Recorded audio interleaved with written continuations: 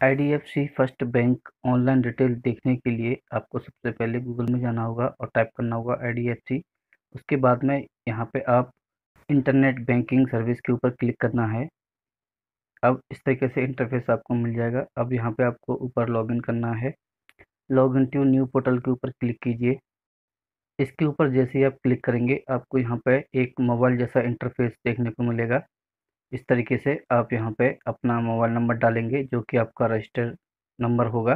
तो आप यहाँ पे पहले अपना मोबाइल नंबर डालेंगे, उसके बाद में प्रोसेड टू लॉगिन के ऊपर क्लिक कीजिए। उसके बाद यहाँ पे आपको एक ओटीपी आएगा। ओटीपी डालने से पहले आपको यहाँ पे अपनी डेट ऑफ़ बर्थ डालनी होगी, जो कि आपके पैन कार्ड पे होगी या फिर आधार कार्ड पे होगी।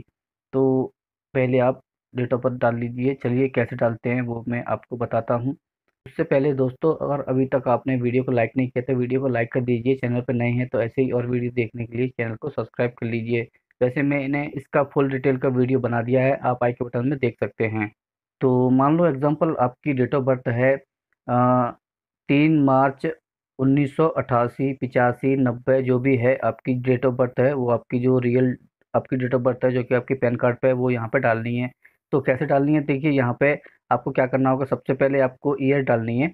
जैसे कि एग्जांपल के तौर पे यहाँ पे मैं, जैसे कि आपकी 1900 यहाँ पे मैंने डाल दिया है अट्ठासी और यहाँ पे आपको मंथ सेलेक्ट करना है। उसके बाद में दो यानी डेट सेलेक्ट करना है। तो दो मार्च उन्नीस सौ अट्ठासी मैंने डाल दिया है। अब यहाँ पे आपको डालना होगा अपना ओटीपी तो यहाँ पे अपना ओटीपी डाल दीजिए। उसके बाद में ओटीपी डालने के बाद में लॉग इन सिक्योरली के ऊपर क्लिक कर दीजिए। तो यहाँ पे मैंने अपना जो ओटीपी है वो यहाँ पे डाल दिया है और हमारी डेट ऑफ़ बर्थ हो गई है और हमारा जो मोबाइल नंबर है मैंने हाइड कर रखा है। यहाँ पे आप देख सकते हैं।